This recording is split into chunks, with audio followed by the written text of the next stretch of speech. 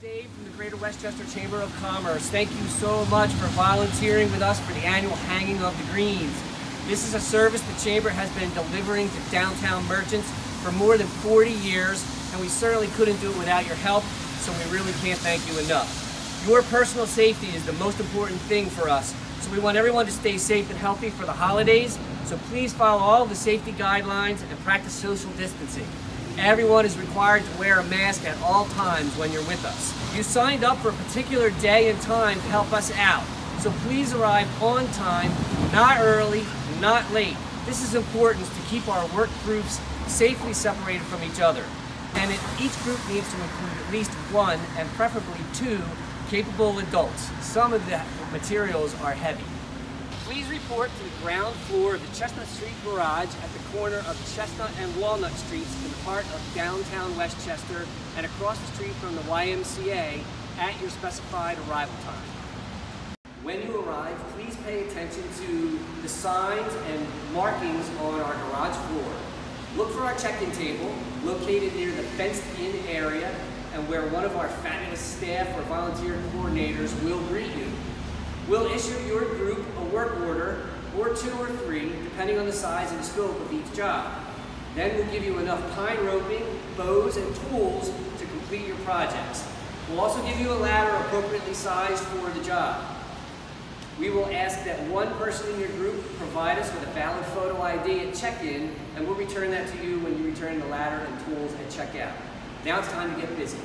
Each work order will have the name and address of a business your work order will look something like this. There's a diagram of where the greens should be installed and where the bows should be placed. Each of the businesses have paid for this service, so it's important to follow the diagram. We also want town to look fantastic so the shoppers and diners will support our small business community all holiday season long. When you arrive at your destination, carefully review your work order. Hooks should be pre-installed at all of the points where you'll be attaching the greens. If they're not there, you'll have extra hooks in your work kit. And if you're still not sure, call the number included on your email.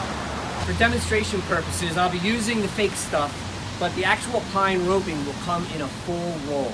It's easiest to work with if you find the end, which will be tucked into the center of the roll and pull it carefully up and through. Mostly you'll be installing the greens around shop windows and doors. Start at the bottom, work up over and back down, leaving some drape across each span. So we're going to give you plenty of wire. It may be on a paddle or a spool, or it may be on individually cut pieces already sized. It's a good idea to double the wire up as you attach at each point on the window or door.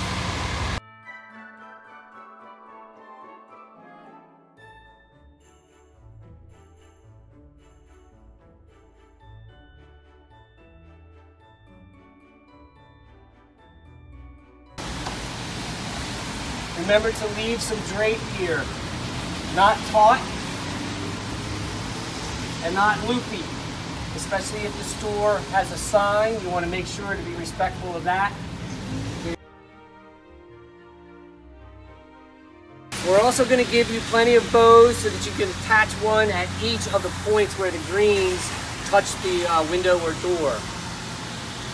The bows come with a pretty flimsy red wire I would say double that up, and if you want to give it a little uh, assist with your green wire, that's a great idea too.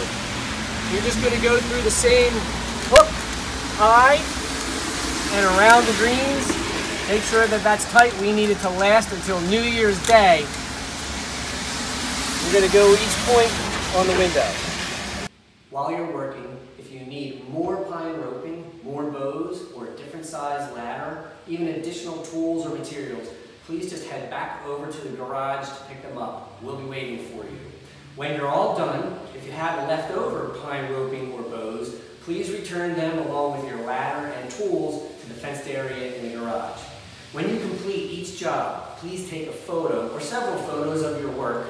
We'll ask you to send that to us so we have a reference guide for future years, and maybe we'll post it on the Chamber's social media pages. Thanks again. We're really so grateful for your time and effort to support the Chamber and contributing to make West Chester the most beautiful downtown in the state. We'll see you this weekend.